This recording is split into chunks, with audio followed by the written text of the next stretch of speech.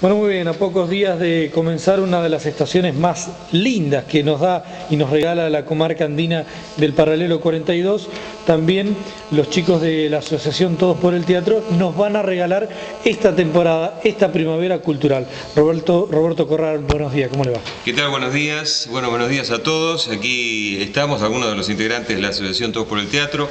María Estela, Estela Maris, Estela Maris Bustos, eh, Alejandro Aranda, Gustavo Olivera, Liliana Susen, eh, decimos algunos de los integrantes. Eh, y bueno, para hacer este, esta presentación de esta primavera cultural que consiste básicamente en cuatro sábados, espectáculos que comienzan mañana sábado 18 de septiembre, aquí en el Salón de la Fundación Armos.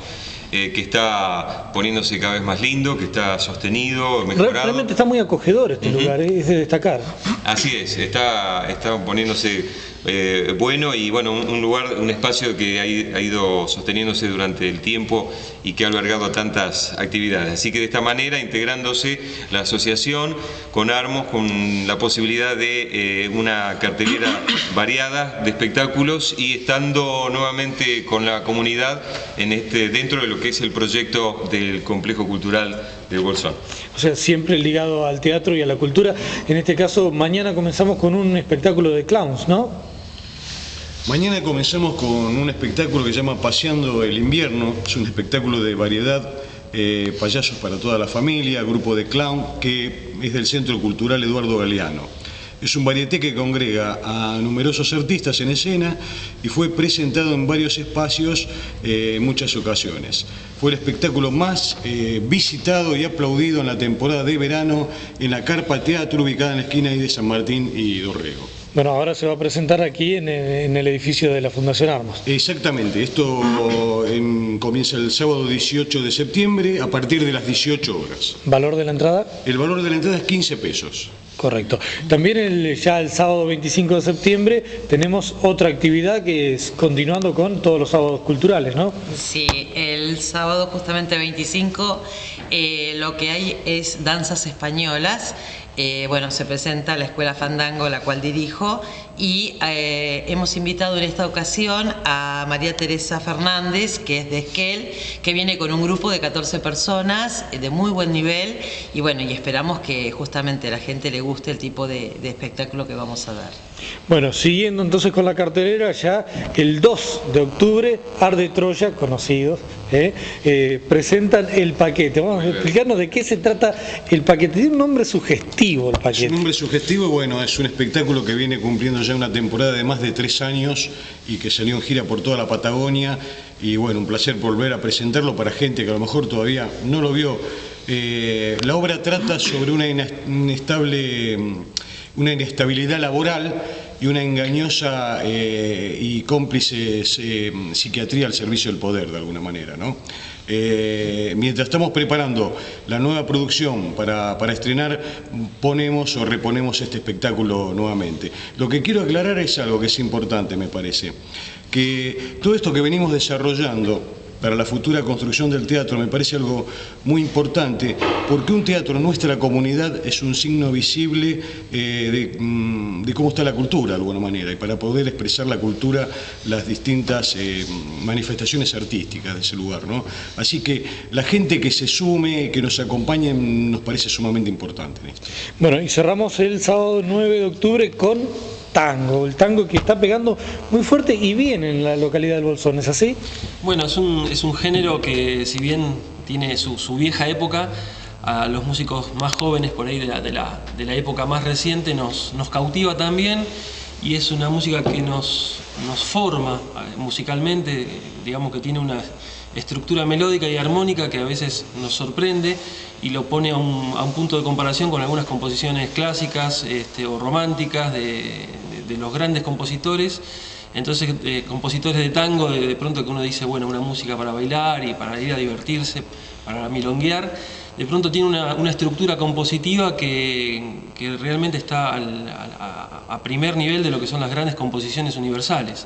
Entonces este, es muy tentador poder tocar este repertorio que es nuestro, que es una música argentina, y por eso el trío que, vamos a tocar con Uciel, con Nehuen y yo, eh, lo llamamos Cosa Nostra, que es también nuestra música y... Es muy de léxico de, barrio y de tango, ¿no? Sí, porque además eh, tiene toda la, es una, te pone en una época también y lo que tiene esa época de todo el surgimiento de esta música también hay como ingredientes del jazz, de, otras, de otros folclores urbanos también. Eh, que queremos mostrar también en esa mezcla y estaremos acompañados por este, por Nazareno y Guillermina, que van a hacer su, su, danza tanguera, como ya los conocemos, nos van a acompañar, para lo cual haremos una, una, combinación muy bien pensada para que este espectáculo sea bastante integrado. Eh, hay dos títulos que son llamativos, uno el paquete y el otro Cosa Nostra. bueno, no, no hay ninguna mafia. Algo pasa. No, no, no. Falta que parezca es la diversidad, hay que generar ingresos. También está, es interesante que nosotros pensamos este ciclo como para empezar también a, mostrarnos a la comunidad, no solamente está el proyecto del teatro, que es un proyecto que tiene una, una gran envergadura y es a largo plazo y que tiene una cantidad de gestiones que no se ven acá, pero eso es, hay, que tener paciencia con eso. Pero sí queremos mostrar las actividades culturales, que tenemos la obligación de, también de recorrer, rescatarlas y mostrar toda la variedad. Queremos que haya variedad en cuanto a los estilos, a las propuestas eh, escénicas y me parece que hemos hecho una eh, elección muy sintética, pero que están representados muy varios de los sectores que están trabajando hace rato.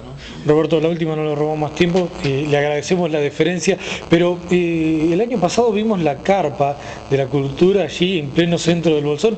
Este año no tenemos carpa, entendemos que bueno, el teatro necesita un lugar como el que Armos ofrece y realmente es agradable estar aquí. pero la, la carpa va a estar. Suponemos que va a estar otra vez la carpa teatro en, la esquina de Orrego San Martín, que es el espacio que ya se ha ganado y que será el, sitio, es el sitio donde se va a construir el complejo cultural, que es un espacio público de arte para toda la comunidad, o sea que ese es un espacio de todos. Y así como estuvo este verano, que fue una integración eh, con dos, dos emprendimientos digamos, distinto, ¿no? Queremos aclararlo, ¿no? Eh, eh, Todos por el Teatro no es eh, solamente la carpa que estuvo en el verano, es este proyecto integral. Dentro de eso, justamente, se, sumó la carpa teatro con la gente del Centro Cultural Galeano, que la propició, que, que la llevó adelante toda la temporada de verano allí en, la producción artística. La carpa se adquirió, la carpa es de todo el bolsón de la comunidad y eh, suponemos que está todo para que este verano esté otra vez allí en la esquina, ¿sí? Lejos de dividir sería sumar posibilidades, porque aquel que le gusta la cultura y le gusta de repente un fin de semana tener un lugar donde poder disfrutar o del teatro o de algún, alguna actividad cultural, o tiene para elegir. La carpa, o podrá elegir entonces eh, aquí la Fundación Armos, ¿no? Correcto, eh, digamos, esta es la primera instancia que estamos desarrollando y pensamos que a partir de ahora eh, vamos a empezar a usar espacios que ya existen, que por supuesto eh, no condice con la totalidad de, la densidad de población que tenemos en Bolsón. Eh, es por esto que estamos atrás de ese gran proyecto del complejo cultural. Pero en un mientras tanto, este, bueno, por suerte varias las salas se ponen a disposición ¿sí? de todos por el teatro.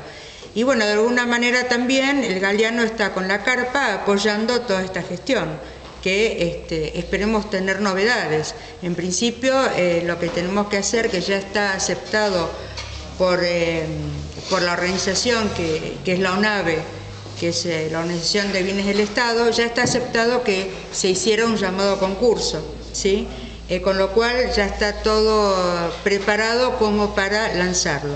Lo que falta son este, las divisas, digamos, para poder lograrlo. El bill metal. El bill metal, exactamente. Eso me da pie para preguntarle, Roberto, ¿cómo hace para subsistir la asociación civil?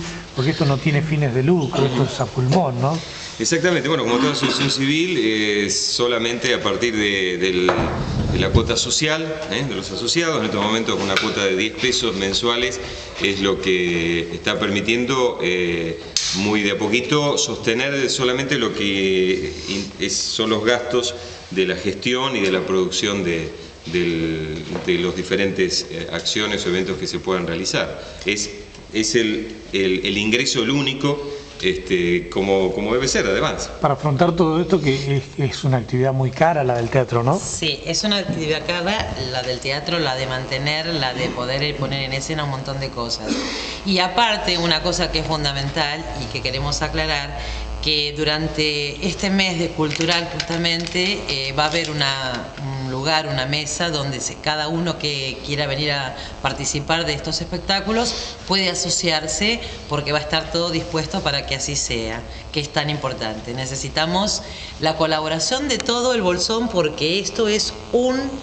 eh, algo para el Bolsón, de- es de todos nos- nosotros, entonces tenemos que apoyarlo justamente por eso, porque es para todos nosotros. Muy bien, muchas gracias. Gracias.